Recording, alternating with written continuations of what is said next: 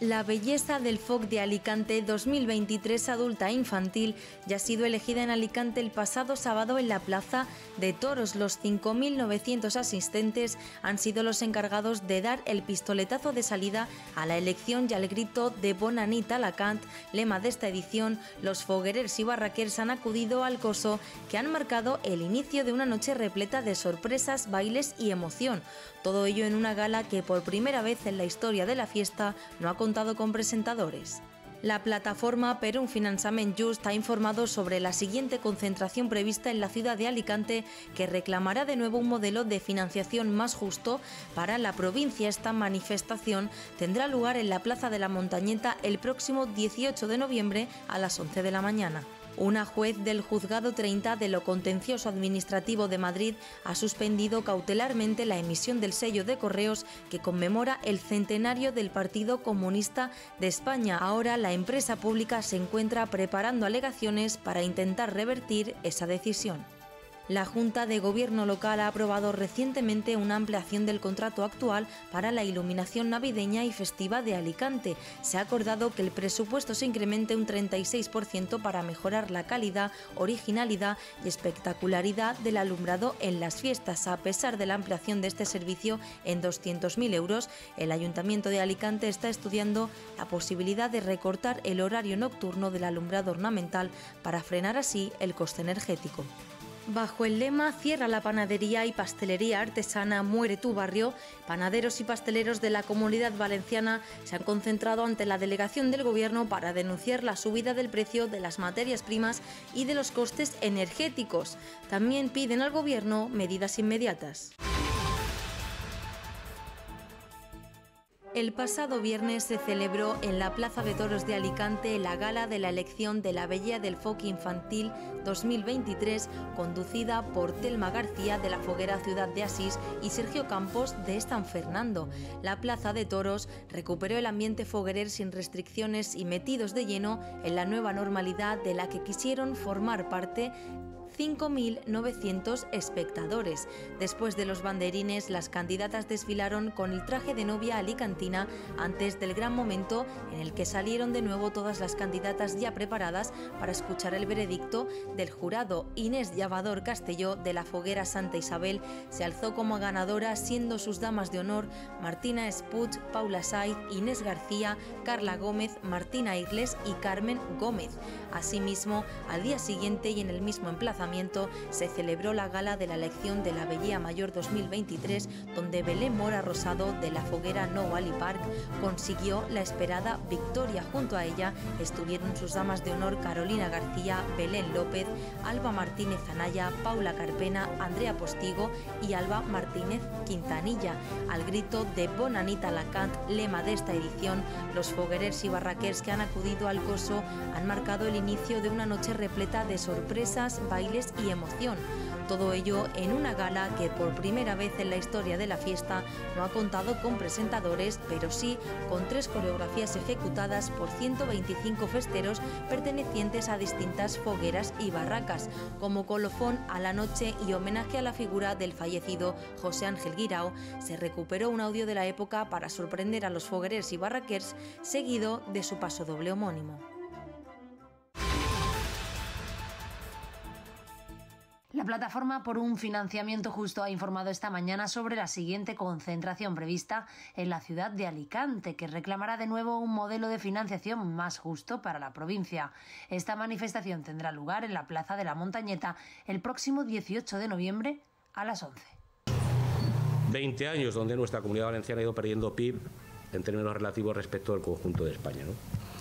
Y una de las razones que justifican eso es el hecho de que tenemos unas inversiones en nuestra comunidad que están claramente por debajo de la media, siendo como somos la única comunidad autónoma que con una renta per cápita, insisto, inferior a la media, es aportadora neta al sistema de solidaridad del conjunto de las comunidades autónomas, que es el único caso, el caso inédito es la Comunidad Valenciana. Esa trayectoria que llevamos, por la pregunta que se hacía, que hemos pasado del eh, desconocimiento total y absoluto y el poco reconocimiento a que la comunidad autónoma está infrafinanciada, eh, se ha hecho esa transición a que ya se reconozca que somos la comunidad autónoma peor financiada y eh, se ponga en la agenda política la posibilidad, incluso un borrador, de poder cambiar de modelo de financiación.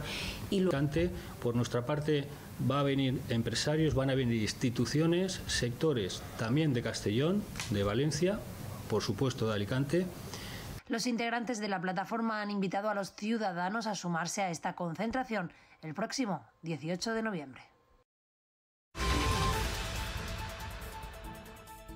Cuando Correos anunció la emisión del sello conmemorativo del Partido Comunista de España, que tendría una tirada de 135.000 ejemplares y que costaría 75 céntimos a partir de hoy, el Partido Popular, Vox y Ciudadanos censuraron la decisión y llegaron a pedir la dimisión de su director, Juan Manuel Serrano. Una juez del Juzgado 30 de lo Contencioso Administrativo de Madrid ha suspendido cautelarmente la emisión del sello de correos que conmemora el centenario del Partido Comunista de España. Ahora la empresa pública se encuentra preparando alegaciones para intentar revertir esa decisión. Por su parte, la ciudadanía alicantina opina al respecto. El Partido Comunista de España creo que es un un partido que entró en, una fase importante en, la democracia en España. Fue un partido político, vamos, legal, y me parece absurdo, sí. No, entiendo, no entiendo por qué no se, no, se, vamos, no se hace ese sello como, como, cualquier partido democrático. No estoy de acuerdo que no se emita, eh, porque creo que el sello, a ver que, que la historia que tiene detrás, ¿no? Que es, es que no sé cómo explicarte, cómo decir, que gracias a la democracia al final fue gracias a lo que hizo el PC, el PCP o PCB, no me sale ahora el nombre, ¿vale? Y bueno, que no, no estoy nada de acuerdo. No sé si es siguiendo legislatura de la UE donde se, no sé, de alguna forma se, se prohíben los totalitarismos, pues si en ellos entra el comunismo y el nazismo, yo lo veo lógico. Y mi marido trabaja, es cartero. Entonces no estoy de acuerdo con ese sello y la verdad que me alegro que se haya cancelado. Por temas políticos, que digamos, es un, un sello que digamos que no forma parte de España. Y la verdad que es que no está bien visto. Abogados cristianos asegura que supone la exaltación de un partido político que cometió crímenes y persiguió a miles de personas únicamente por razón de su fe. Por ello, ha alegado que emitir este sello es contrario a la Ley de Memoria Democrática y a la resolución del Parlamento Europeo que condena la exaltación del comunismo.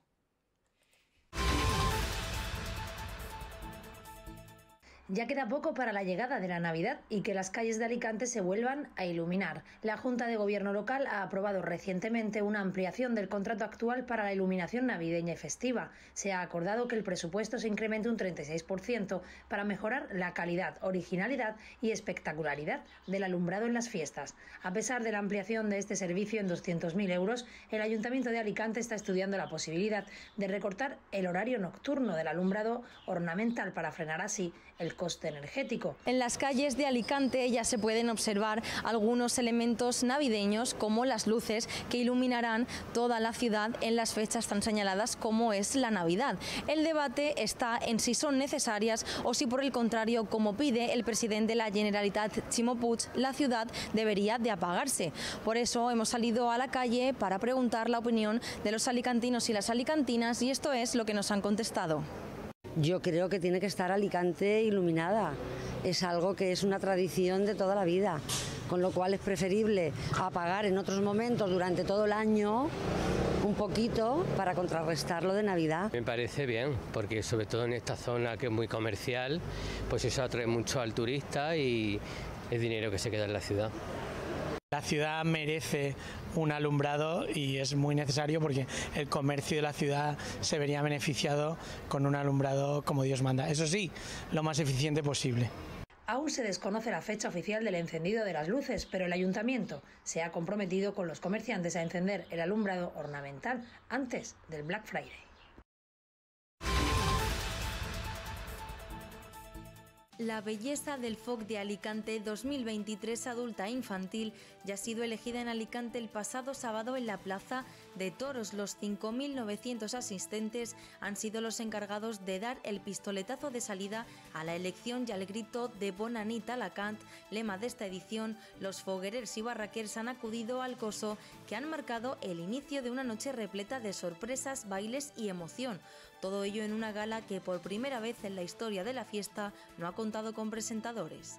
La plataforma Per un Finançament Just ha informado sobre la siguiente concentración prevista en la ciudad de Alicante que reclamará de nuevo un modelo de financiación más justo para la provincia. Esta manifestación tendrá lugar en la Plaza de la Montañeta el próximo 18 de noviembre a las 11 de la mañana.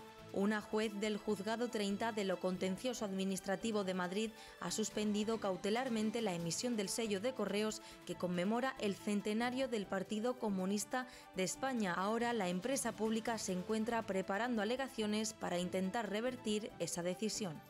La Junta de Gobierno local ha aprobado recientemente una ampliación del contrato actual para la iluminación navideña y festiva de Alicante. Se ha acordado que el presupuesto se incremente un 36% para mejorar la calidad, originalidad y espectacularidad del alumbrado en las fiestas. A pesar de la ampliación de este servicio en 200.000 euros, el Ayuntamiento de Alicante está estudiando la posibilidad de recortar el horario nocturno del alumbrado ornamental para frenar así el coste energético.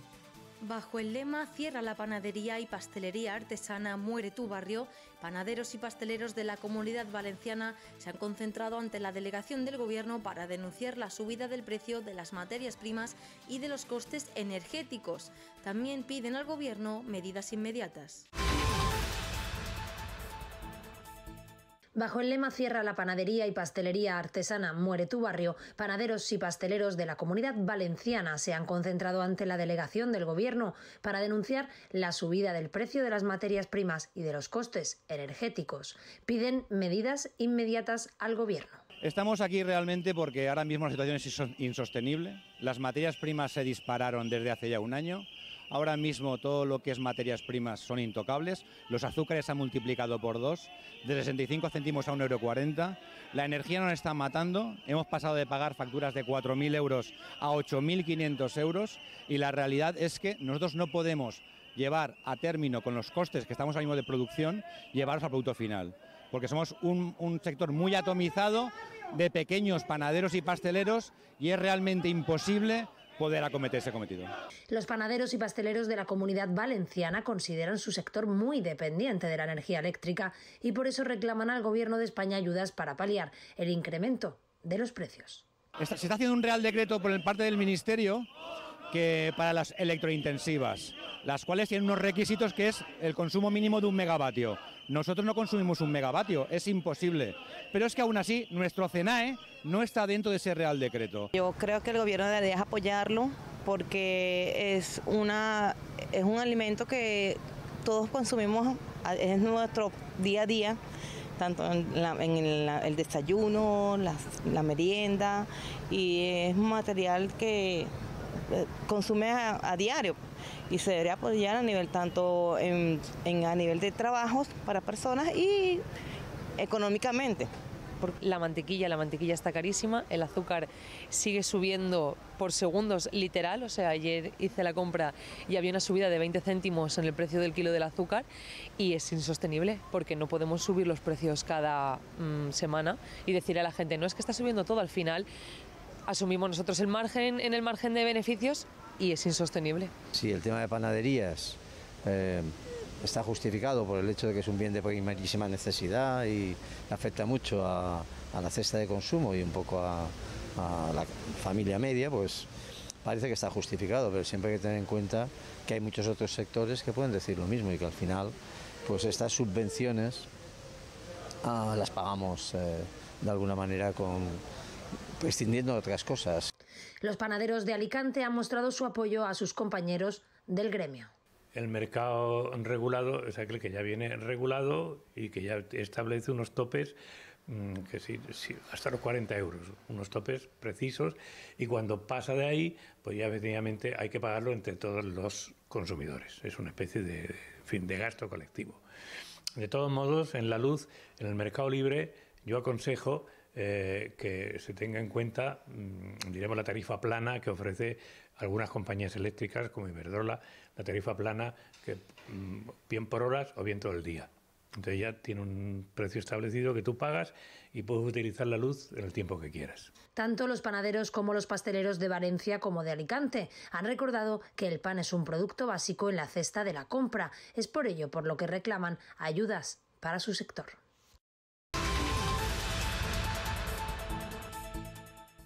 El temporal de lluvia y viento ha afectado a buena parte de la comunidad valenciana, provocando cortes en el servicio de metro entre Torrent y Picassent y entre la Pobla de Balbona y Giria, el cierre de la pista del aeropuerto de Manises en Valencia y otros 1.718 incidentes. Asimismo, bomberos del Consorcio Provincial de Valencia han rescatado a los trabajadores que se encontraban en el interior de las instalaciones de una empresa electrónica de la localidad de Cuart de Poblet que se habían quedado aislados y por su parte los bomberos del Consorcio Provincial de Castellón han rescatado a ocho personas dentro de sus vehículos atrapados por el agua.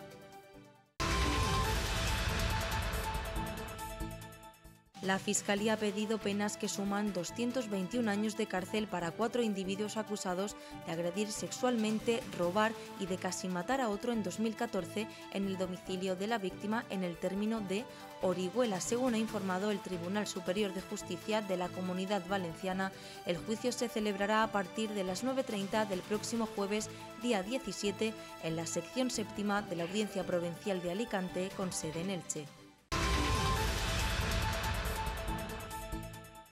El jurado popular constituido en la audiencia de Alicante que juzgaba a dos jóvenes de origen extranjero por la muerte a golpes de otro a las puertas de un pub del municipio de Chalo Alicante ha emitido un veredicto de culpabilidad para los dos procesados al considerar que el joven falleció como consecuencia de los golpes infligidos por los dos procesados en una pelea multitudinaria en la que también participó un menor ya condenado por homicidio imprudente por un juzgado de menores. El titular del Juzgado Central de Instrucción número 5 de la Audiencia Nacional ha decretado el ingreso en prisión preventiva de un yihadista detenido el pasado martes por la Policía Nacional en la localidad murciana de Blanca tras una alerta de la Dirección General de Vigilancia del Territorio de Marruecos del pasado febrero.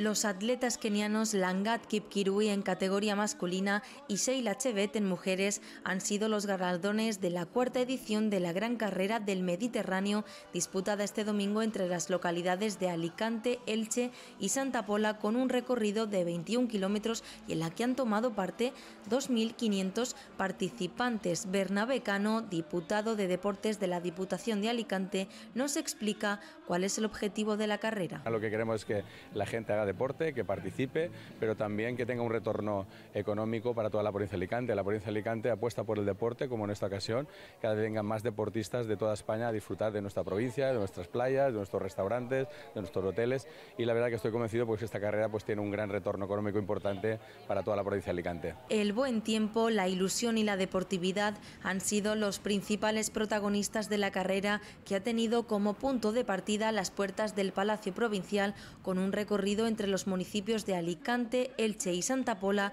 con el mar Mediterráneo como escenario de excepción.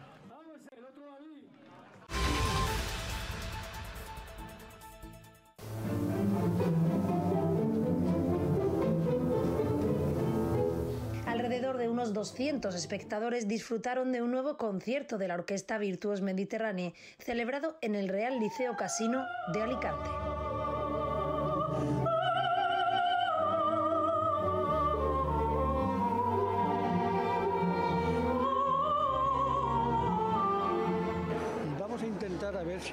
Salón efectivamente, como dicen todos, la sonoridad es extraordinaria y la orquesta sigue siendo una de las grandes orquestas que tenemos en Alicante.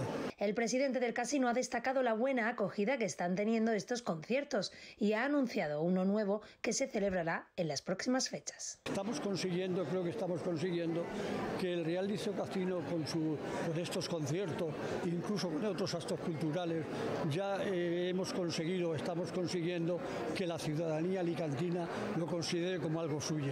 También anunciar que vamos a tener un concierto de Navidad mm, donde queremos unirlo a una comida o a, una, algo que podamos después de la del concierto eh, cambiar impresiones y compartir unos momentos de charla eh, con los amantes de la música. Los alicantinos que llenaron en su totalidad del histórico Salón Imperio y sus palcos disfrutaron durante el concierto de obras como Madame Butterfly del maestro Puccini, entre otras.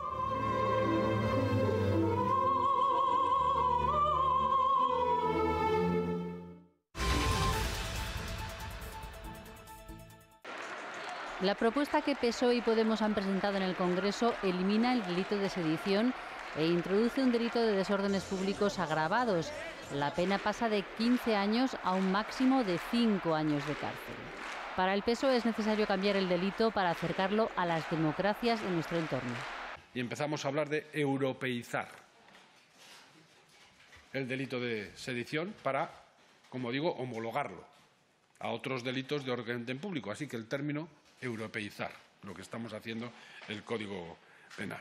Desde Unidas Podemos la proposición para reformar el Código Penal mejora la democracia. Primero fueron los indultos, luego la mesa de diálogo y hoy el delito de sedición.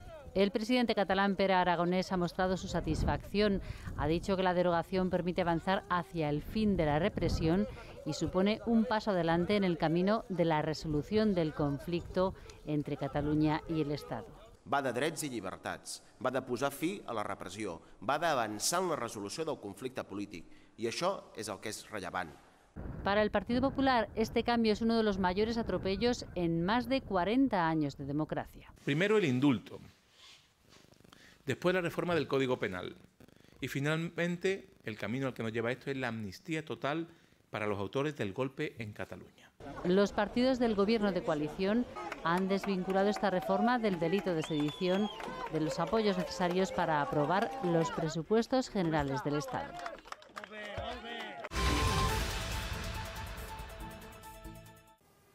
Habrá paro del transporte desde el próximo lunes 14 de noviembre. La Plataforma Nacional en Defensa del Sector del Transporte mantiene la convocatoria después de reunirse con el Ministerio. Estamos en una situación agobiante económicamente, como prácticamente se estaba en marzo. Ahora lo que sí necesitamos es que demuestren esa voluntad que nos prometieron durante la negociación de este Real Decreto. El Ministerio de Transportes se ha comprometido a reforzar las inspecciones para garantizar que no se trabaje por debajo de costes. Sin embargo, la huelga se iniciará si no hay antes un documento firmado. Ahora falta la contestación de si finalmente están dispuestos a, pues haya un documento que diera lugar con unos compromisos serios y firmados de lo más necesario y lo más relevante para poder llegar a tomar otra decisión distinta a la que ahora mismo está tomando. Los transportistas de la plataforma, además de un mayor número de inspectores y sanciones por incumplimiento, piden que se quite la excepción de los contratos continuados que permite no cubrir los costes reales. Consideran que la situación no ha cambiado desde marzo, cuando realizaron un paro que duró 20 días.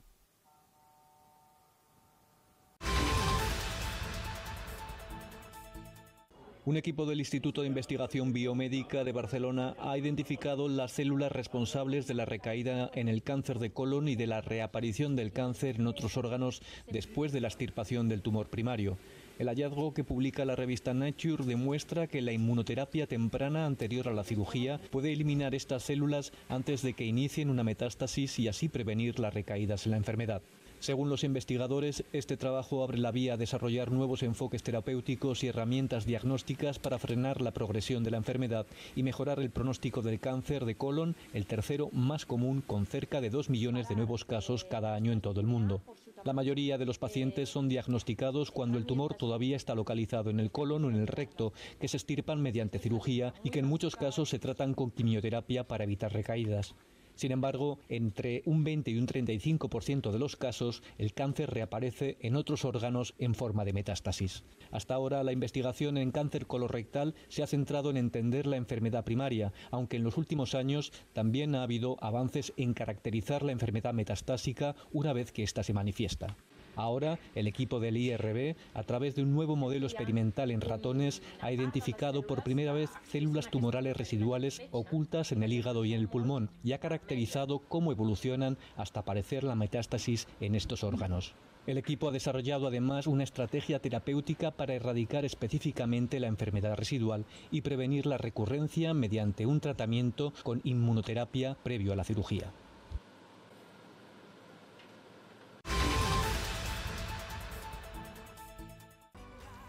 La esperada secuela de Black Panther, que cosechó en 2018 un enorme éxito y siete nominaciones a los Oscar, recupera el espíritu afro de la primera, pero le añade ahora un nuevo mundo submarino, Talocan, inspirado en las antiguas culturas mesoamericanas y gobernado por el temperamental Namor.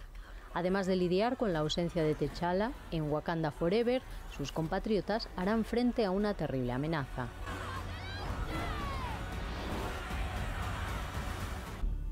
Un matrimonio extranjero llega a una aldea gallega con el sueño de hacer de ella su hogar, pero no todos los vecinos lo verán con buenos ojos. El director Rodrigo Sorogoyen dirige el thriller rural Asbestas, cuyo guion firma con Isabel Peña. El drama de la inmigración en Europa llega a los cines con la historia de Tori Loquita, una adolescente y un niño africano atrapados en la crueldad del sistema europeo de acogida. Una mujer vive un atentado terrorista cuando cenaba en un bistró parisino. Pasan los meses y se ve incapaz de recuperar su vida, por lo que decide investigar lo ocurrido y hacer frente al trauma en Memorias de París. Completan la cartelera la cinta de animación Ícaro y el Minotauro y el documental sobre la escritora y defensora de los derechos de la mujer Emilia Pardo Bazán.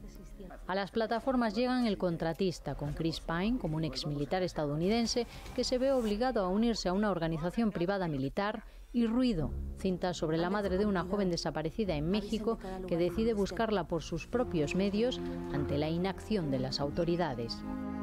Está haciendo enojar a mucha gente. Si tienes que ir...